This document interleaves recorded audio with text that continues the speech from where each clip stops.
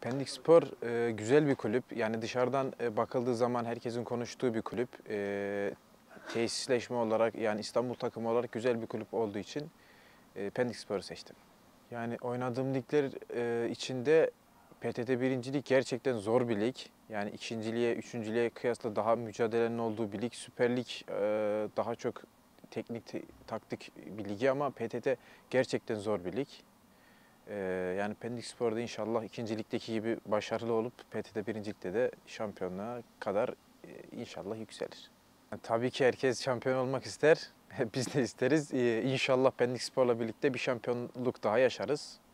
Yani bence şampiyonluk çok mutlu verici bir şey. Yani takımımız gerçekten iyi bir takım. Yani taktiği, sistemi olan bir takım. Ee, ön tarafta da iyi futbolcular var. Ee, hocamız forma verdiği sürece biz de elimizden geleni yapmaya çalışırız.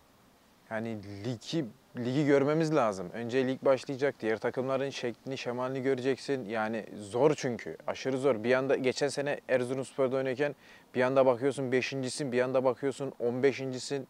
Yani lig zor olduğu için e, tabii ki biz hep üst sıraları hedefleyeceğiz ama e, kolay değil.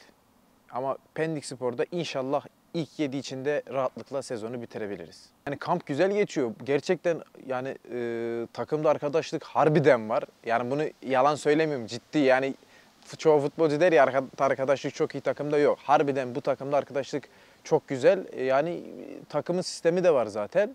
Biz de sisteme ayak uydurursak, takıma katkıda bulunursak ne mutlu bize. Taraftarlarımız sabretsin. E, çünkü lig e, kolay bir lig değil. E, yani zorlu maçlar oynayacağız. Performans düşüklükleri, düşüklükleri her futbolcuda olacak. Belki bizde de olacak, belki başka birinde de olacak.